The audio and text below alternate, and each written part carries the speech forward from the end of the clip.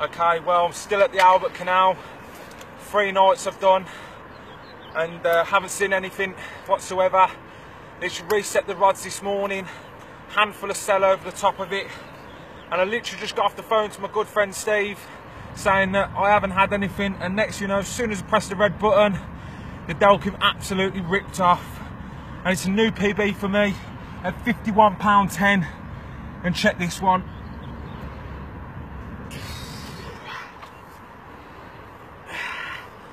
Look at that. 50 pound, 51 pound, 10 ounce of pure AK canal carp. Buzzing. This is a proper achievement for me. Bit too much to take in, to be honest. A real big dream for me. Yeah. Thank you.